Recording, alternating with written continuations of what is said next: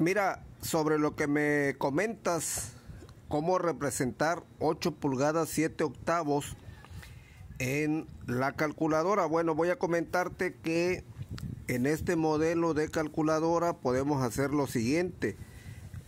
Ingresamos el 8, que son las 8 pulgadas, oprimimos la tecla de fracciones y escribimos 7, de nuevo la tecla de las fracciones y el número 8. Ahí tenemos 8 pulgadas 7 octavos.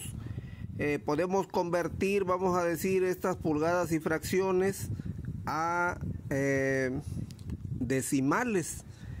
Oprimimos igual y posteriormente la tecla de las fracciones y tenemos que 8 7 octavos es igual a 8.875 pulgadas.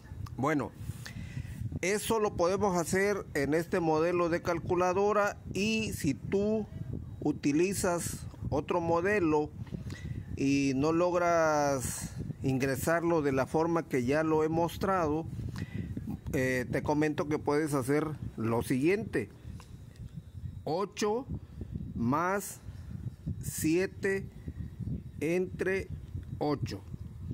Damos igual y ahí tenemos el resultado 8.875 pulgadas.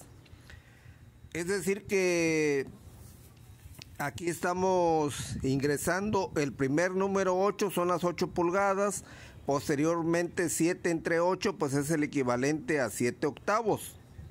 Eh, así lo puedes hacer también.